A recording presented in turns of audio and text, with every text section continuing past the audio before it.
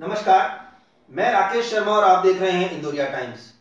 जी हाँ दो गज की दूरी, मास्क है बहुत ज़रूरी और बार बार हाथ धोना बेहद है ज़रूरी। संकट टला नहीं है। हाँ ये कह सकते हैं कि हम इतने जागरूक तो ज़रूर हुए हैं कि हम डिस्टेंस में मेंटेन करना सीख गए हैं। हम मास्क का उपयोग करना सीख गए हैं। हम लोगों को समझाने के साथ साथ समझाइश को अपने ऊपर लागू करना चाहते तो हैं, लेकिन यदि सामने वाला चाहकर भी उसका पालन ना करे तो कोई क्या करे? भारत, जो कि अपने आप को एक समृद्ध भारत के रूप में देखना चाहता है, स्वावलंबन की ओर अग्रसर होना चाहता है चाहता है देश में वो तकनीक हासिल करना, ताकि इतने बड़े देश की आवाम को एक साथ वो एक निरोग स्थिति में महसूस कर सके। तो वहीं राजस्थान प्रदेश की यदि हम बात करें, विगत आठ महीनों में माननीय अशोक गहलोत के द्वारा चार बार उन्होंने कोविड टेस्ट के रेट को प्रभावित करते हुए और बारह सौ रुपए के रेट को ला करके उन्होंने बारह सौ रुपए की जो कोविड की जाँच हुआ करती थी, आज वो आठ सौ रुपए में कोविड की जाँच उन्होंने उपलब्ध करवा दी है, जो कि काबिले तारीफ़ है।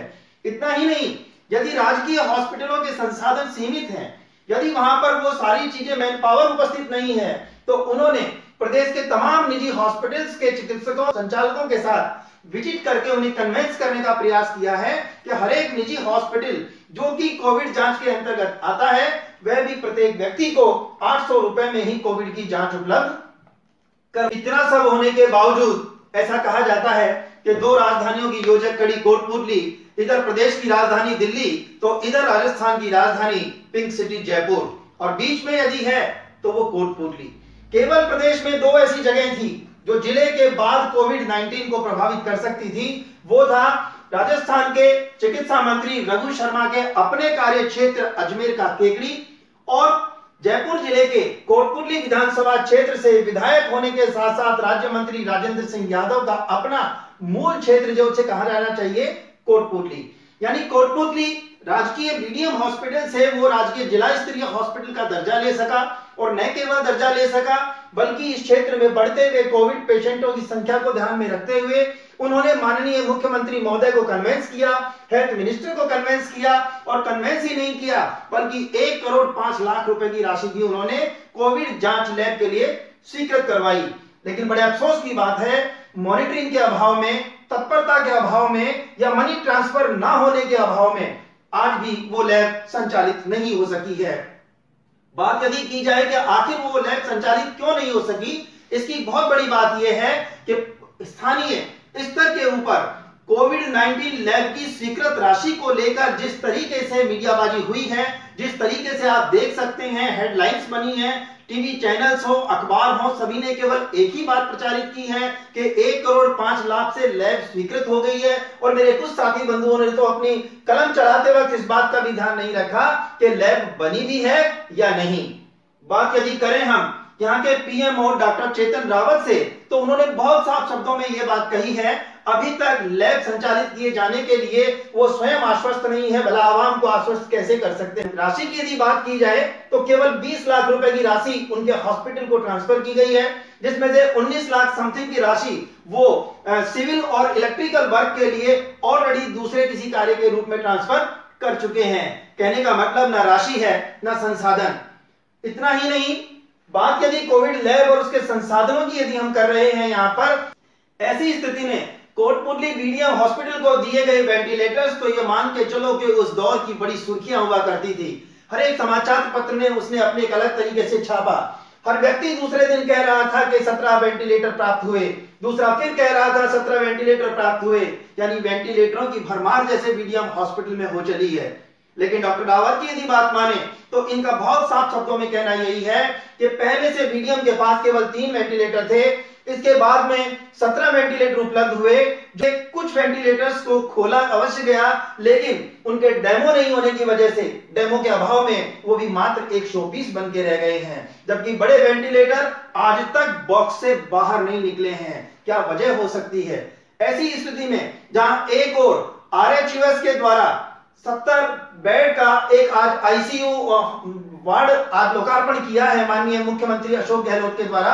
वहीं छह जिलों के अंतर्गत पीसीआर लैब का शुभारंभ किया गया है। ऐसे में कोटपुतली क्षेत्र की लैब जो अब तक संचालित हो जानी चाहिए थी, जिसकी राशि स्वीकृत हो चुकी है, जिसके वेंटिलेटर आ चुके हैं, लेकिन कहीं उसका डेमो नहीं है, कहीं मॉनिटरिंग नहीं है और नहीं है तो केवल और केवल यहाँ की जवाब, यहाँ की जनता को जवाब देने के लिए कोई यहाँ जिम्मेदार ऑफिसर नहीं है। छपास की भूख लिए यहाँ का जनप्रतिनिधि जिस तरीके से पब्लिक को गुमराह कर रहा है, केवल यही वजह रही कि आज इंदौरिया टाइम्स ने ग्राउंड रिपोर्ट पेश करने की कोशिश की है।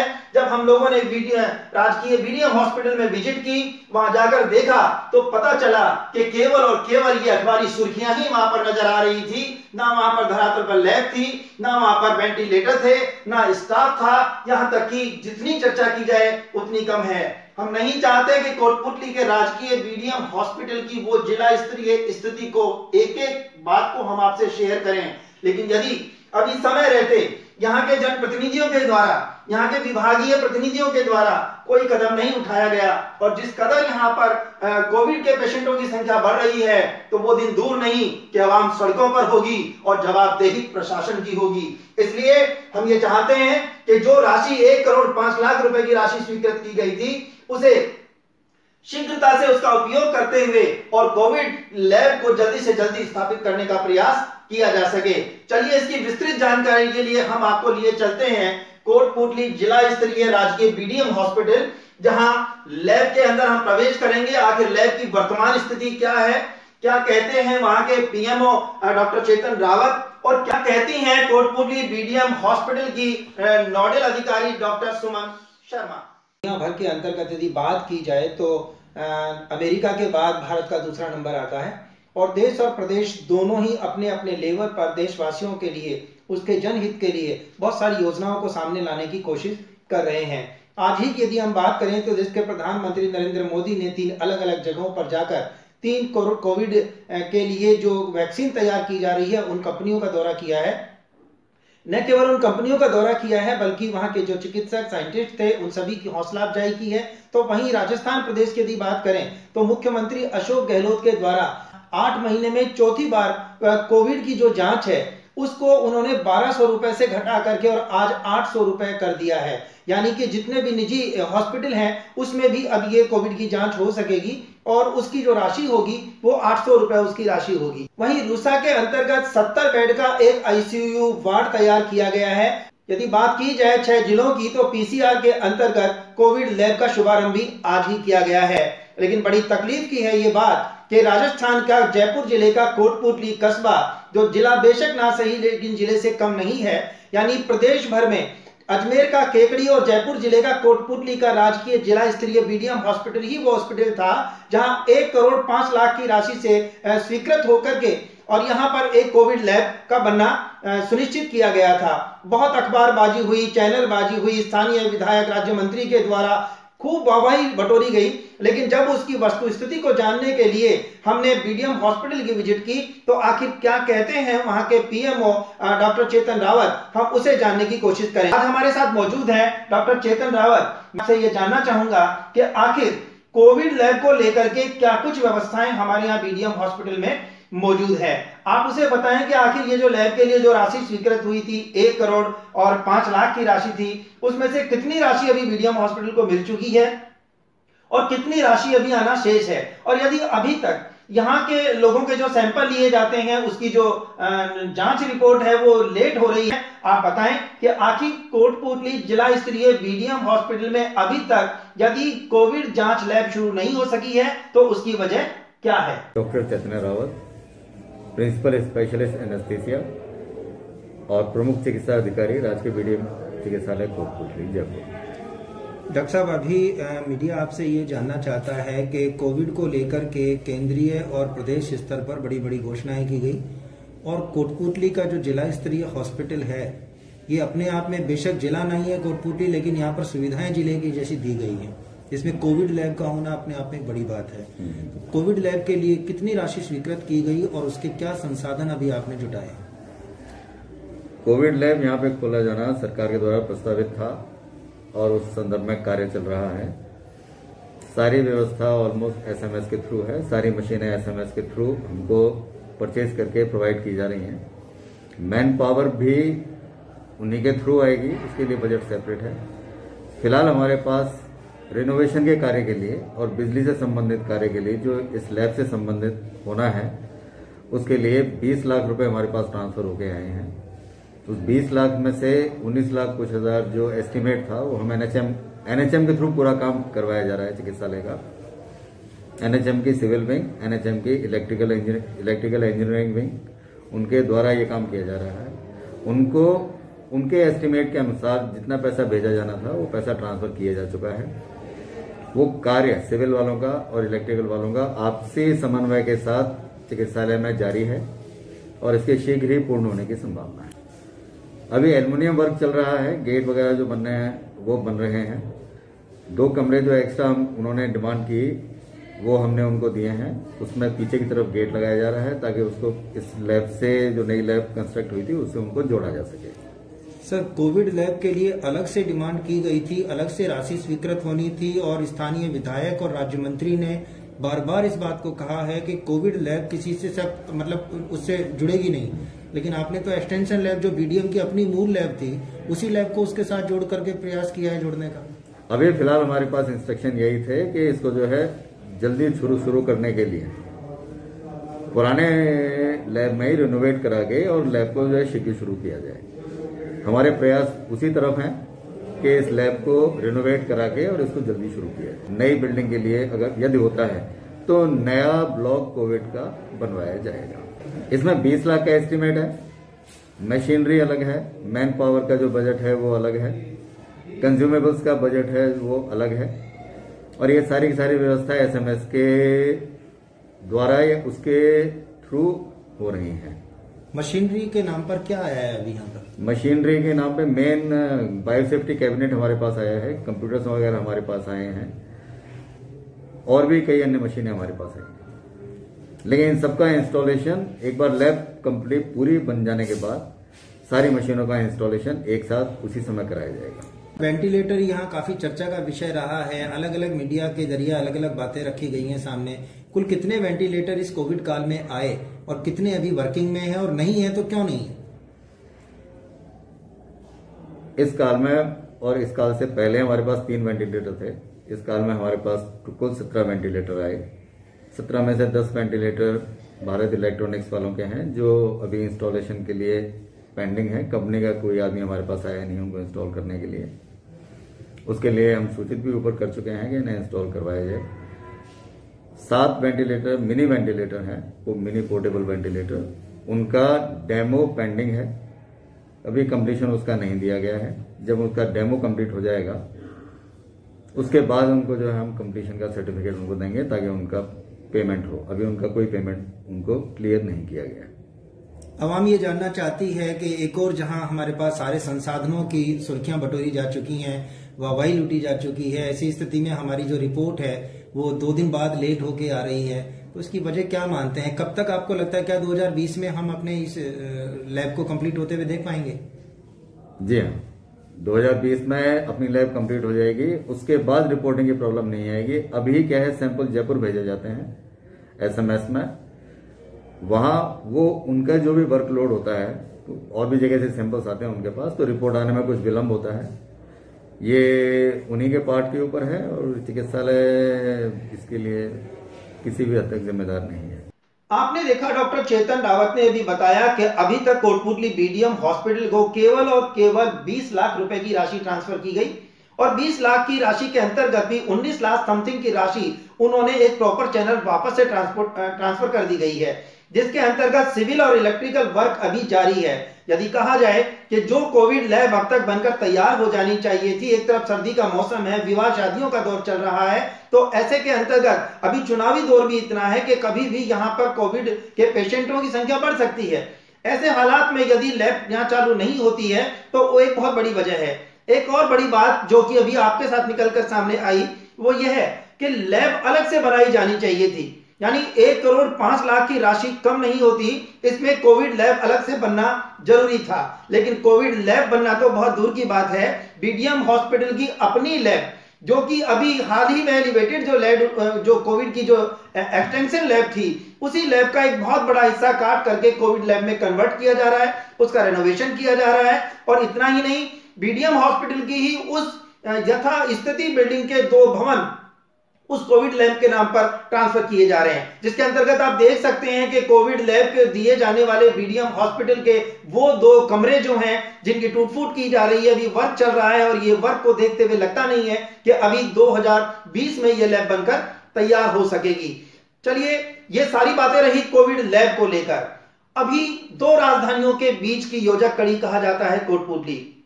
निसंदेह, दो राजधानियों के बीच जिला स्तरीय राजकीय बीडीएम हॉस्पिटल, इस क्षेत्र की लाइफलाइन कहा जाता है। और लाइफलाइन से जुड़ने का जो सबसे पहला सोपान होता है, वो है यहाँ का ट्रोमा सेंटर। ट्रोमा सेंटर आखिर बनाया किस उद्देश्य से गया था? क्या ट्रोमा सेंटर से जुड़ी हुई फैसिलिटीज़ हैं? कितनी यहाँ पर एम्बुलेंसेज हैं? एम्बुलेंसेज जो हैं, वो कितने संसाधन से लैस है? और किस तरह से एक एंबुलेंस, एक मिनी हॉस्पिटल के रूप में, एक मुएबल हॉस्पिटल के रूप में या कहीं लाइफ लाइन की भूमिका निभा सकती है। आखिर कोटपुतली राजकीय बीडीएम हॉस्पिटल के ट्रोमा सेंटर से क्या क्या व्यवस्थाएँ जुड़ी हुई हैं? इसके लिए मैं फिर एक बार आप डॉक्टर चेतन रावत के पास वो बताएँगे कि आखिर बीडीएम के ट्रॉमा हॉस्पिटल में क्या कुछ संसाधन मौजूद है। डॉक्टर साहब, मैं आपसे यहाँ पर यह जानना चाहूँगा कि आखिर कोटपुतली का जो ट्रॉमा सेंटर है, उसकी टाइमिंग्स क्या है? कितने चिकित्सक वहाँ पर एवरी टाइम वहाँ पर मौजूद होते हैं और उस ट्रॉमा सेंटर से रिलेटेड यदि बात की जाए संसाधन की तो कौन कौन से ऐसे संसाधन हैं जिसे लेकर व्यक्ति जयपुर की ओर ना जाकर के स्थानीय बीडीएम हॉस्पिटल का उपयोग कर सकता है? जस्ट लाइक like कितनी एम्बुलेंसेज हैं एम्बुलेंसेज की क्या व्यवस्थाएँ हैं और किस तरह से एंबुलेंस यहाँ पर संचालित होती रही है? हॉस्पिटल के डेवलपमेंट को लेकर यदि हम बात करें तो यहाँ के ट्रॉमा सेंटर की क्या पोजिशन है? ट्रॉमा सेंटर चल रहा है। वहाँ पे हर समय दो चिकित्सक इमरजेंसी में 24 घंटे उपलब्ध रहते हैं जो कि ट्रॉमा से आने वाले किसी भी केस को अटेंड करता है। निर्माण कार्य हो या इसकी बढ़ोतरी किए जाने की बात वार्ड एक्सटेंशन की बात हो जैसे अभी आपने कहा लैब एक्सटेंड हो रही है ऐसे और कौन कौन से कार्य इस समय बीडीएम हॉस्पिटल में जारी हैं उसकी जानकारी भी कुछ दें। पीछे जो एमसीएस सेंटर बना हुआ है चिकित्सालय में उसके लिए अलग से ऑक्सीजन सेंट्रल ऑक्सीजन पाइपलाइन उस, उसके बिछाए जाने का कार्य जारी है चल रहा है। उसके लिए एमजीपीएस जो रूम दिया जाता है जिसमें रूम में सिलेंडर्स वगैरह लगाए जाते हैं उनका मेन सेंटर ऑपरेटिंग सेंटर जो है वो निर्माण कार्य उसका शुरू है। चिकित्सालय में चार क्वार्टर पैसे पहले सैंक्शन हुए थे जिनका काम अभी हाल में शुरू हो जाएगा। जगह चिन्हित करके उनको बता दी गई है काम अभी शुरू हो जाएगा। 16 क्वार्टर्स की और सैंक्शन आनी बाकी है जिसकी पीआईपी में प्रोसेस चल रहा है। और उनके सेंक्शन आते ही वो 16 क्वार्टर और बनने शुरू हो जाएँगे। हॉस्पिटल में डॉक्टर ऑन कॉल एंबुलेंस है। एक टाटा विंगर एंबुलेंस है एक एल एस एंबुलेंस है और एक सिल्कोसिस एंबुलेंस वो जो बड़ी वाली एक एल एस एंबुलेंस बता रहे हैं आप जो काफ़ी महँगी है जो शायद गिने चुने हॉस्पिटल में है उसकी क्या फैसिलिटीज़ है? उसमें सभी फैसिलिटीज़ हैं उसमें मरीज़ को किसी भी कंडीशन में शिफ्ट किया जा सकता है उसमें मॉनिटर्स वगैरह भी हैं पल्स ऑक्सीमीटर भी है बीपी मॉनिटर भी है। ऑक्सीजन वगैरह की पूरी व्यवस्था उसमें है। मरीज़ को रिसक्सिटेशन करने की भी व्यवस्था उसमें है। बात यदि की जाए सर डेवलपमेंट को लेकर के तो अकेला कोई व्यक्ति डिसीज़न नहीं ले सकता। एज ए पीएमओ आप सोसाइटीज के चेयरपर्सन भी हैं। तो एमआरएस अपने आप में एक बॉडी है आपके बीडीएम हॉस्पिटल में। उसकी क्या कार्यप्रणाली क्या है उसकी? एमआरएस जो संस्था बनाई हुई है एमआरएस संस्था जो एमआरएस आरएमआरएस में जो बजट इकट्ठा होता है चिकित्सालय का पैसा जो इकट्ठा होता है या किसी और तरह से फंडिंग जो भी आती है उसमें उसके यूटिलाइजेशन के लिए है। उसमें किस तरह उसको यूटिलाइज किया जाना है, उसकी भी कुछ गाइडलाइंस है। उस गाइडलाइंस को फॉलो करते हुए उसको बजट को काम में लिया जाता है। उसके लिए दवाइयाँ भी खरीदी जाती हैं उससे। उससे अस्पताल के लिए इक्विपमेंट्स भी खरीदे जाते हैं। अस्पताल के मेंटेनेंस भी कराई जाती है। अस्पताल के लिए कोई और चीज़ खरीदनी है या मैन पावर रखनी जानी, रखी रखी जानी है, आवश्यकता है तो वो भी उसके थ्रू रखी जाती है। लेकिन सरकार के द्वारा कुछ चीज़ें प्लेसमेंट एजेंसी के थ्रू कर रखी हैं तो प्लेसमेंट एजेंसी के द्वारा हमको लेनी पड़ती है। उसका पेमेंट प्लेसमेंट एजेंसी का उसका आरएमआरएस के थ्रू होता है। इसमें कोई नई चीज़ अगर हम करना चाहते हैं तो आरएमआरएस की एक कमेटी बनी हुई है। कमेटी में प्रस्ताव पेश किया जाता है और उस प्रस्ताव पेश के अनुमोदन आरएमआरएस कमेटी के अनुमोदन के पश्चात उसका क्रियान्वयन किया जाता है। Society Rajasthan medical relief society इसके चेयरपर्सन कौन है? इसके चेयरपर्सन जो है हमारे ज्वाइंट डायरेक्टर हैं। और स्थानीय स्तर पर? स्थानीय स्तर पर पीएमओ स्थानीय एमएलए अकाउंटेंट और अन्य सदस्य एमआरएस की फंडिंग के सोर्स क्या है? फंडिंग चिकित्सालय में जो पैसा इकट्ठा होता है जस्ट लाइक like? वो जैसे ये भर्ती मरीजों की इंडोर टिकट की जो चार्जेस हैं जो आउटडोर ओपीडी के चार्जेस हैं या कभी चिकित्सालय की एंबुलेंस जाती है उसके थ्रू जो रसीद करती हैं या कोई सर्टिफिकेट वगैरह जारी जारी होते हैं उनके लिए जो सरकार द्वारा निर्धारित फ़ीस है विभिन्न कामों के लिए वो फ़ीस का पैसा उस आरएमआरएस के उसमें जमा होता है। पार्किंग भी इसी में शामिल है? पार्किंग के जो टेंडर दिया हुआ है उसका जो पैसा आता है वो भी पैसा चिकित्सालय में जो भी पैसा जहाँ कहीं से भी आता है किसी भी ठेके ठेके के द्वारा वो सारा पैसा आरएमआरएस में जमा होता है। माना जाता है कि एमआरएस के पैरेलल एक दूसरी गवर्निंग बॉडी है जो आपातकालीन स्थिति में डिसीज़न लेती है। उसमें कौन लोग हैं और किस तरह के डिसीज़न लिए जाते हैं? चिकित्सालय में एक वरिष्ठ डॉक्टर्स की समिति बनी हुई है। वो समिति किसी भी आपात स्थिति में या जिनमें सामूहिक निर्णय लेने की आवश्यकता होती है, आपसी बातचीत सहमत से उसमें निर्णय लिए जाते हैं, उन निर्णय का कार्यान्वयन किया कार्यान्वयन किया जाता है।